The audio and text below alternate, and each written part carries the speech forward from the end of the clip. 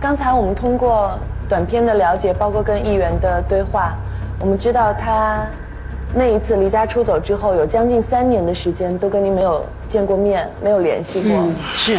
后来上去年上一档节目之后，我才知道，我经常接莫名其妙的电话，打接着电话就没动静，我也不知道，我以为是骚扰电话呢。后来上完节目，他跟我说。他说的，在节目上也是这么说。他说那都是他给我打电话，听到我声音，他把电话撂了，我就歪歪歪半天没动静。后来上完节目，我说那为啥你撂啊？你说你撂干啥呀？我就急眼了。他说不撂不行，我事业不成，我没脸跟你说话。我要我要那什么那个要奔我的事业。这三年您是怎么过来的？这三年。我自己呢，就是说酸甜苦辣吧，全都在里边儿。你担心他的安危吗？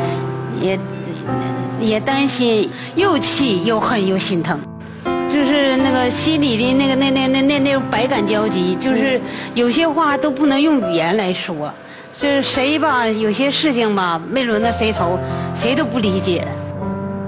我这个当妈妈的，我也劝不了他，不跟我回去，你说说。那这三年您自己的生活是怎么过来的呀？自己那就是酸甜苦辣，酸甜，自己照顾自己吧。那儿子不在家，这些日子您一个人生活，身体不舒服的时候都怎么办呀？身体不舒服的时候，有时候有病的时候，感冒发烧自己挺着，也得。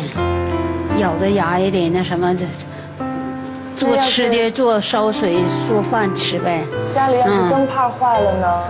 灯泡坏了，水管子坏了，那是最难的了。有的时候自己拿钳子什么也拧不动，也掰不动，就只好找亲戚朋友帮忙，完了给解决。肯定是太难受了，就是就是心酸。那您干嘛不联系儿子呀？我那前儿联系不上他，我找不着他呀，我不知道。议员，你听到妈妈说她这三年来一个人艰难的生活的时候，你听了有什么感想吗？嗯，我觉得我确实是有些事情啊做的不够好。我确实，我母亲一个人非常非常难。我可能我当时我不知道，可能是哦，可能是就是上的那股劲儿，就是。啊，总是较这个劲，啊，我觉得确实是我做的不好。嗯，阿姨，议员小时候是一个什么样性格的孩子？议员小时候吧，他这孩子不像别的孩子，挺疯、挺闹、挺狂的，他比较内向。他小时候那么内向，为什么现在他那么热爱表演，那么爱跳舞、爱唱歌？这应该是一个比较外向、比较活泼的孩子才会做的事情。也有点不可思议，我自己孩子我都觉得我不可思议，真是的。但刚才他在台上的状态，估计阿姨在台下也看见了。现在是啥呢？大家都是不管是我也好，是谁好，谁要反对他的这个说他跳舞啊、节奏他就心里头有点有点说白了就有点逆反心理，就是好像大家伙都反对我。你当妈的反对，是亲戚反对，说外界这些朋友好像也都看不惯，他就有点。我招架不了了那种感觉，我也说不出来。自从母亲上场后，一直侃侃而谈的张议员突然平静下来。是母亲艰难的生活现状让他有所触动，还是担心母亲再次逼迫他放弃梦想？事实上，关于这个问题，母子二人早就有过多次谈判，但都因为彼此倔强的性格，每一次的结果都以争吵结束。互不妥协的背后，儿子是否真正了解母亲最需要的究竟是什么？那这几年他的工作也慢慢有了一些起色，挣的钱可能也比以前多了。即便这样，您还是不支持他在外面吗？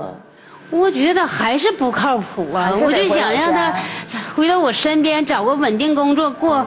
普普通通老百姓生活，你在这的总是会觉得心里没有底。这样，阿姨，我觉得您反反复复的说，你特别希望他能够陪在您身边，是可能跟您迫切的需要他有关系。嗯，你就告诉告诉他，你到底有多需要他？没有他的日子你怎么过的？过得有多难？是啊，生活不好就就吃普通的，就上市场买菜买，说白了买孤墩菜，或者人家处理的那个什么。嗯、有时候还还有时候还捡点菜，反正什么便宜买啥，就是没买过好的。过年像人家这几个盘子几个碟子，我我家那也有亲属妹妹姐姐他们，让我上他们家过年的，还有哥哥。但是我在谁家过年也不如在自己家过年好像踏实。别人家是大鱼大肉都有，但我心里头不知道怎么就犯堵。你会一直等着电话响，等着儿子给你打电话。，对，议员觉得嗯他要混出个人样来，对事业有成，对回去照顾您，嗯就是他最大的梦想。是。但是对于您来说，有没有那些钱不重要，只要他人在你身边就行。对于我来说，我觉得他说混出人样来，我觉得这个是不是有点太遥远了？嗯，我觉得是好像有点儿，就我就觉得好像不太那啥，不太容易啊，嗯，不太容易。所以对您来说，您觉得什么是最重要的呢？什么最重要？我觉得他跟我回家最重要。这是你最需要的。哎，对，这是我最最需要的。议员听了母亲的这些要求，你有什么感受？你会会暂时考虑考虑，放弃你想留在北京打拼的梦想，回去妥协一下吗？我觉得我该坚持的东西，我不能放弃。我坚持了很久，那你也听到妈妈刚才说，她一个人在家生活有多不容易。你在北京不容易，妈妈一个人在老家也不容易。能不能把两个不容易的生活拼在一起，让它变得容易一些呢？日子好过一些呢？哦，我现在如果回去的话，我所有东西我全都要放下，重新开始，而且我还赚不到钱。什么这这个那个的，你可别那啥了。